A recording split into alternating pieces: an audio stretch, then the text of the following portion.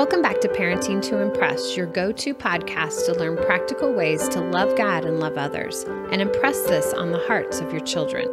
I am your host, Heidi Franz, and I am joined by my dear friend, Melanie Simpson, two moms who have made a lot of mistakes, but found grace and truth along the way. Today, we are going to talk about family vacations. Yay! Yes. No. Yay! Yay! No. No. Yes. Yeah. a lot of emotions come up on yes. this topic. Yes. A lot of emotions.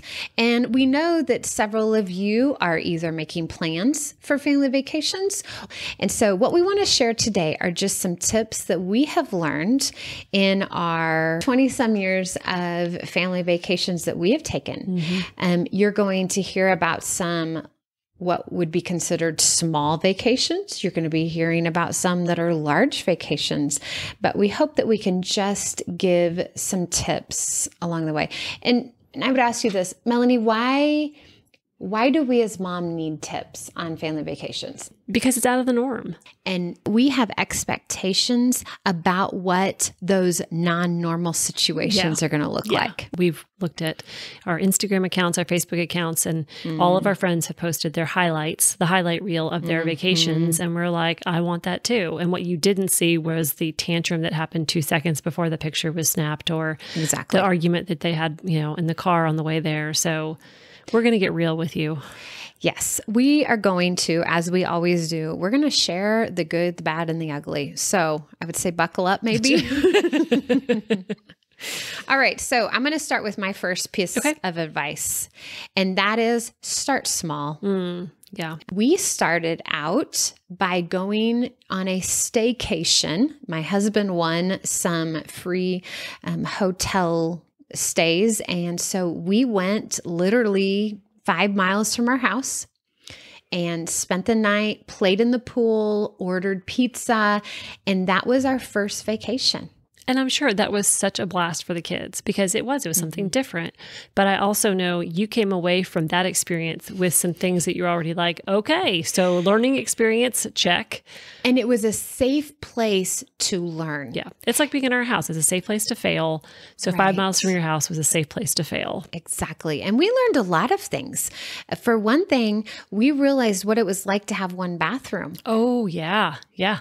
You know, we we are blessed to have more than one bathroom in our house and when you get to a hotel, there's just one. Yeah. And that changed things. yeah, for sure. One shower, one tub, one toilet. That's exactly Yeah. correct. One Yeah. sink, Yeah. all of those things. So brushing teeth took six times um, the amount because we weren't used to having to take our turns in the bathroom. So that Mm-hmm. Was just one thing. And then, like you said, if you have a swimming pool and you've got mixed genders in your family, you've got to think through people getting dressed and undressed with one bathroom. Just be prepared for those sorts of things that you take for granted in your own home. And speaking of swimming pools, we had a little Walmart pool in our backyard for many years. And so our kids weren't used to swimming with other families a lot. Oh, yeah. And that was something that was so, new. pool etiquette. um, elevator etiquette. well, just being in the hallway. When other people could be sleeping and thinking about that somebody could be sleeping at two o'clock in the afternoon. And we need to respect them how we walk down the hallway. Yeah, for sure. I mean, I think when you're talking about having having pizza, I can many of our trips, um, like I said, have been in the car, road trips, and staying in a hotel along the way. And you know, for a budget option, we would order in pizza or whatever. We, like you said, I think it's in one of your blog posts. The first time we didn't have plates, we didn't have paper towels. Right. I mean, and the hotel provides you with like four plastic cups and nothing, an ice bucket. So um, we have developed the practice of keeping paper plates, a roll of paper towels, wet wipes in a little bag. We just keep it in the back of the car for that very reason. Right. Those little things that you don't expect to come up. And we do have several blog posts that I've shared these little tips, and we will post all that in the show notes. So starting small is probably the first kind of big tip. Yes. Then we always would think about our family. Our family is mm-hmm. not your family. Right. So, but what might be a great trip for your kids mm-hmm. might not be so great for my kids. Right.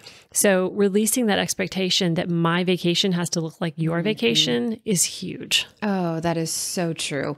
We've got to figure out personalities we have in the family, the ages Yeah. of the kids in our family. You know, my second bit of advice is be flexible, but don't stray too far from your normal schedule. Yeah. If your little ones require a nap in the afternoon, I would discourage doing a vacation where your kiddos aren't going to be able to get those naps in the afternoon. Absolutely. So know your kids. Yeah. You know, we were finally able to head out west to see my husband's family um, who lives in California. And so we planned um, a trip to the Grand Canyon. Yes. and the amount of walking that that takes. Now, on the flip side, I have also taken my kids with family members to New York City. Mm-hmm. And because I grew up on the East Coast, I had an ease about being in the city with strollers and all that kind of thing. I would not. Right. So I think that's the other thing too. It's not just about the people, it's about me. What's my comfort level? So for some moms, taking their kids to the Grand Canyon would be panic inducing, Mm-hmm. um, or going to the city would be panic inducing. Very good. Very good. No, you're exactly correct. It's thinking about each one of the personalities and how are you going to set up everybody to succeed? Yeah. And so I, I asked my now 17 year old daughter about this topic, and this kind of goes along with what you're saying. How do you make a vacation fun for everyone without catering to everyone's wants?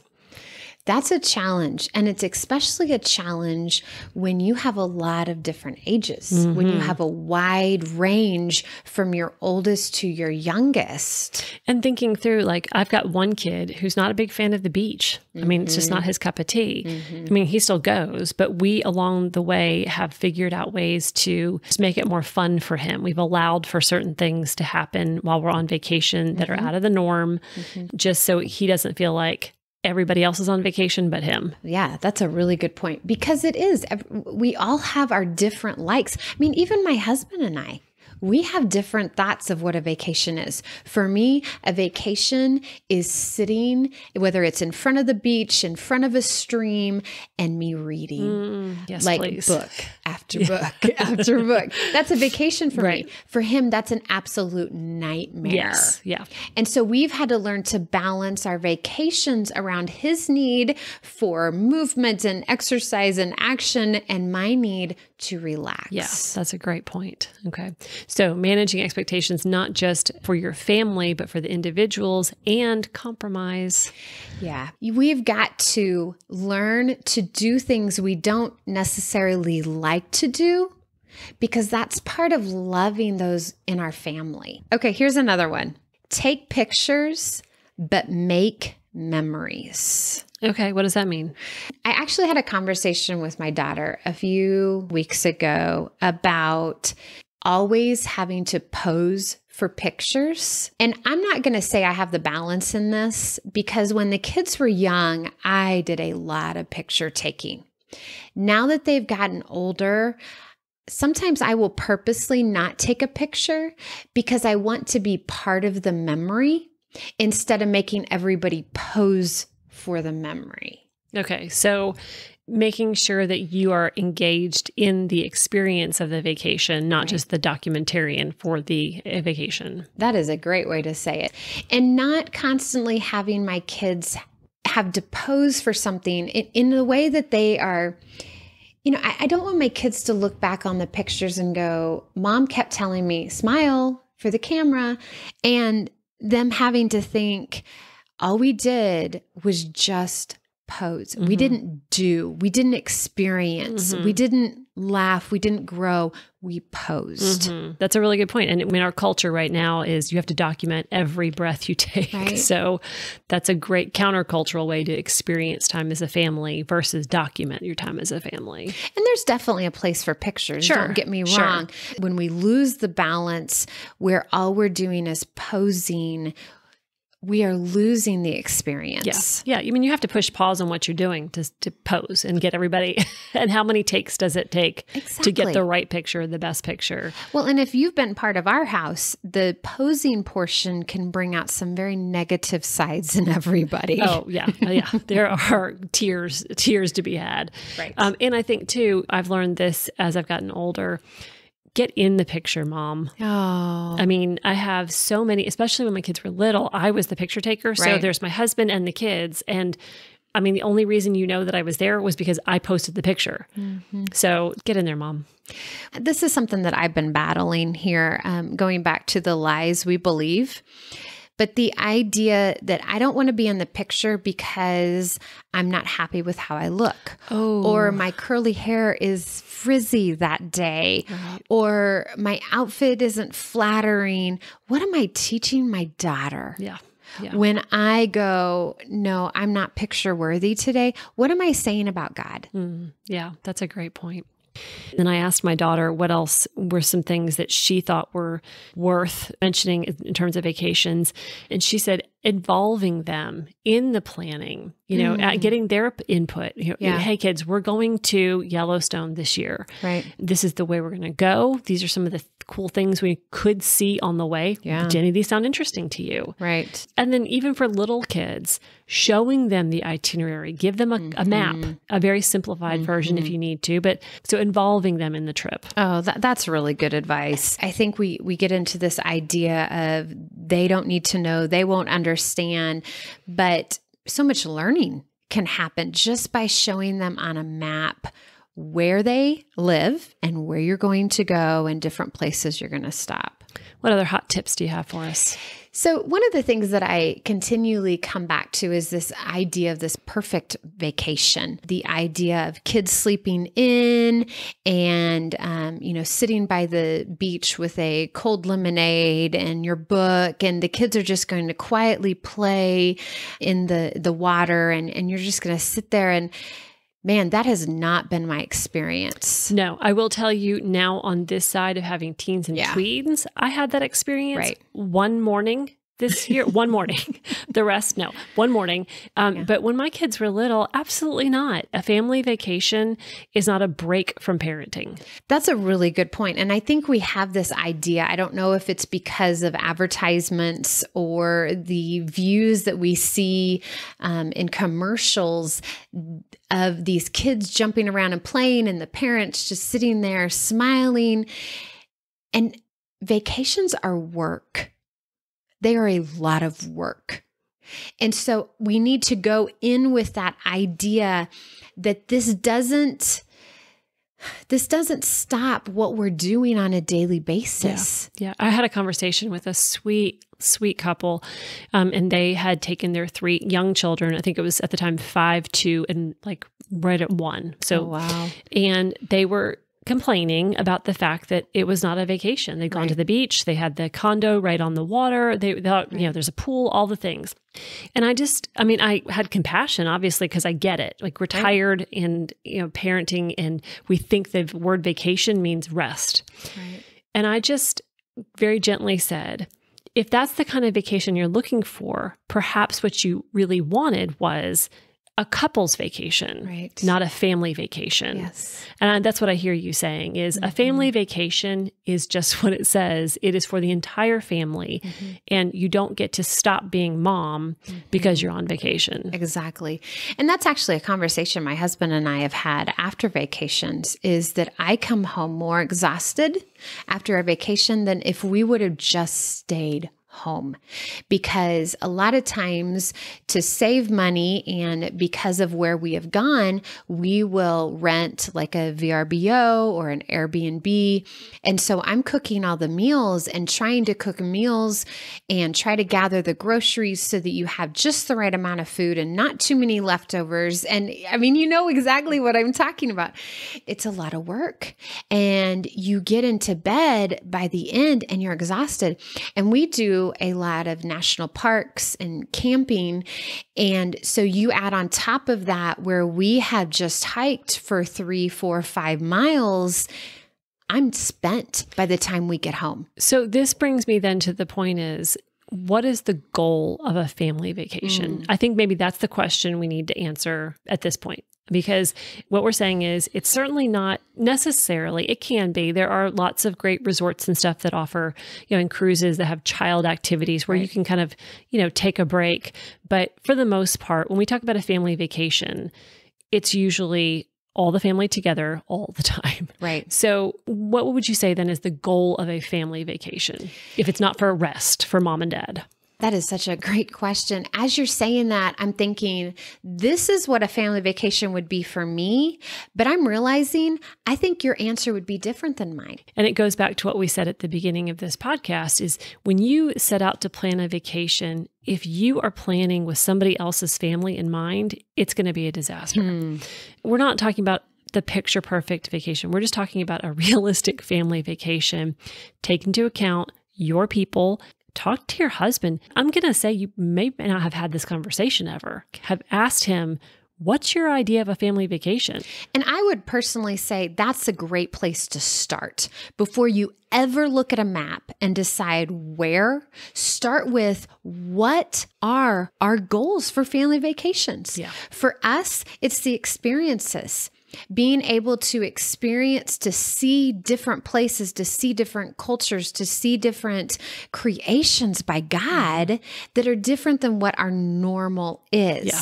But my husband and I had to come to terms, had to come to an agreement of what is that going to look like for our family and let that goal, that dream progress as the kids got older. Yeah, I mean it's it's flexible again, like we said at the top of the podcast. I mean, be flexible, hold those things loosely, but be honest. be honest about where your kids are, what age they are. And those are things that I talk about um, on some of the blog posts that I've shared our family vacations. So I share this might not be a good situation if you are X, Y, or Z. So I encourage you, and we'll put those in the show notes. Okay, Melanie, to end, I want to say something that could kind of shock people. Okay. I want to give people permission not to go on vacation. Okay. What why? Hmm. I want to give you permission not to go on vacation because it's this expectation that this is what families do. There's something freeing in hearing that. Well, I think we look at social media and we see all of these, what I consider big trips. And it's the thought, you know, those lies that we believe. That Satan comes in and says, Well, their family's doing it. You need to do it too. Good families go to Disney World. Good families go to the Grand Right. Canyon. You're destroying your kid's childhood if you don't fill in the blank. Yes. Yeah. Exactly. And what I'm saying in this permission is it's okay to not do anything big. We did not do any big vacations until our kids were older. Yeah. And then we did. And it's been a good experience. There have also been, oh, some failures in the middle of our Yeah. vacations. Yeah, I was gonna say, I mean, we we were a tent camping family. We hiked and tent camped, Mm-hmm. and the a number of stories that have come out, like the family Oh, goodness, lore yes. that has developed out of those trips, that's priceless to me. Right. It cost what twenty bucks to pinch our tent for the weekend, Mm-hmm. but man alive, we have some fantastic memories. those things that you talk about over the Thanksgiving and Yes. Christmas Yes. dinner table for years, Yes. generations. Yeah. Yeah. We'll talk about those stories. Well, this has been a fun podcast, um, Mm-hmm. just getting to talk about family vacations, and I just appreciate you giving us the freedom to not take vacations. Mm-hmm. I I think that my younger mama self would have really appreciated that. Mm-hmm. So thank you. Okay, so just to recap, some of the things that we talked about were considering your specific family Yeah. and the people who are in your family as you talk about vacations and plan for vacations. Um, we did throw out a few kind of um, practical tips, but please do check out the Parenting to Impress blog. There are some fantastic blog posts that Heidi had already posted, just with great tips for planning vacations and those really kind of nitty gritty details that we easily overlook. Also, there are some fantastic vacation resources, some car activities, a road trip activity book, a travel journal that are available. So check those out on the ABC Jesus Loves Me website. And as always, we just encourage you to keep God the center of any of the plans that you're preparing for your family. Be prayerful about vacation. I know that sounds strange. A lot of us don't include God in our vacation mm-hmm. planning, but He would love to guide and direct all of your steps, including those fun experiences. Until next time. Thank you for listening to the Parenting to Impress podcast. We invite you to visit the abcjesuslovesme.com and parentingtoimpress.com website, as well as join the Parenting to Impress private Facebook group. Check out the show notes for more information about topics shared in the episode. Please subscribe, leave a review, and share this episode with your friends.